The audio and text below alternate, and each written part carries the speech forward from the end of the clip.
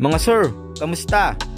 Alam nyo ba na bago magkaroon ng mga tanyag at sikat na boxer mula sa ating bayan sinalangan, kagaya nila Jerwin Angkahas, Donny Nietes, Nunito Donaire at ang ating pambansang kamao na si Manny Pacquiao na sikat sa iba't ibang lugar bilang mga galing na boksingero ng bansang Pilipinas ay meron munang isang Pancho Villa na nagbigay ng karangalan sa bansang Pilipinas at siya ang tinaguriang unang Pinoy World Champion.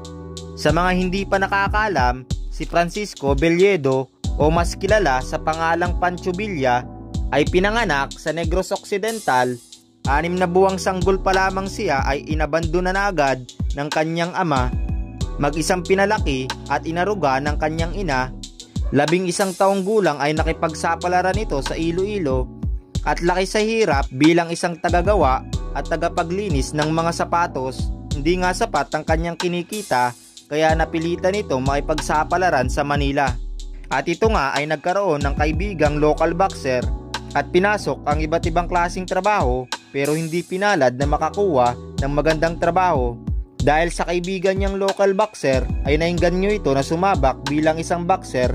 Nung umpisa nga ay sparring partner lang ito ng kanyang kaibigan hanggang sa nahiligan niya ito at taong 1919, makalipas lamang ang dalawang taon ay nagpasya ito na sumabak bilang isang professional boxer at maganda ang naging karera bilang isang professional boxer at mabilis nakilala, kumalat ang pangalan sa iba't ibang lugar dito sa Pilipinas.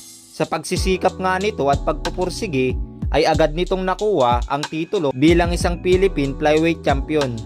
At noong June 18, 1923, makalipas ang apat na taong karera niya sa boxing, ay lumaban ito sa world title fight at nasungkit nga niya ang world flyweight champion sa kalabang si Janwal.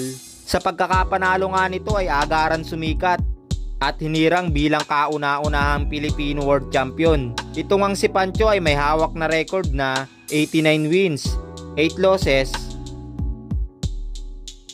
Nakakalungkot lang dahil ang karera nito sa boxing ay napakabilis matapos dahil sa edad na 23 Si Pancho Villa ay pumanaw. Ang sanhinga ng pagkamatay nito ay isang komplikasyon sa ngipin. Oo mga sir, dahil sa kanyang pagpapabunot ay natapos ang kanyang buhay. Nakakagulat pero yun talaga ang kanyang ikinamatay. Dahil kumalat ito sa kanyang lalamunan. Sa bawat larangan o bagay nga ay laging merong nauuna. Sana nag-enjoy kayo mga sir. Maraming salamat sa inyong panunood. Hanggang sa muli, paalam! We see flyweight champion Wild to the right of your screen start off with his usual aggressive tactics. Already you can see why the 108-pound Jimmy Wild is called the Mighty Atom. He's lost only three of 138 bouts in his truly brilliant career, and he's been the dominant force in his division for almost 10 years. Pancho Villa, the colorful Philippine challenger, is a worthy opponent for Wild. He's established himself as a top contender by cutting through the flyweight ranks like so much wheat. Tonight, he wants to make the most of his first shot at Jimmy's title. Wild's getting in some good punches, but Villa keeps coming back. That overhand right crossed Jimmy's glove to touch the canvas. The referee wipes his gloves and the fight continues. This is Jimmy Wild's first fight in over a year, and there was talk before the fight that the champion might be out of shape. Jimmy came to the weigh-in fully dressed, and he still made the flyweight limit with a pound to spare.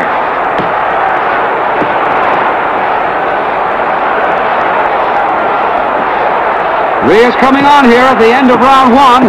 In the next five rounds, Pancho keeps picking up points. And by the seventh round, Wild needs to stage a dramatic rally to keep his title. Pancho's really turning it on. The champion is trying to cover up, but a lot of those punches are landing. Villa gets in an explosive three-punch combination, and Jimmy Wild falls flat on his face. The crowd is stunned at the sight of the champion lying prone on the canvas. Pancho Villa makes an indelible mark in ring annals by taking the flyweight championship from the great Jimmy Wild.